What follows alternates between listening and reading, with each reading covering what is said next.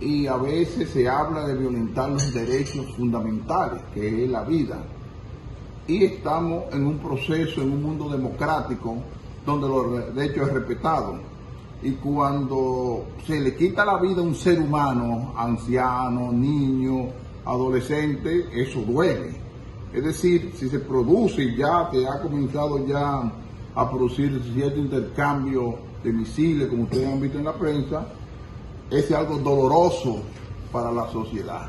Generalmente nosotros como iglesia constantemente estamos pidiendo perdón por daño producido, por realidad de la iglesia, pidiendo que estos países desarrollados también tienen que pedir perdón a la humanidad por tantas personas inocentes, niños, adolescentes, adultos mayores, que pueden sufrir los resultados de una guerra simplemente por muchos intereses.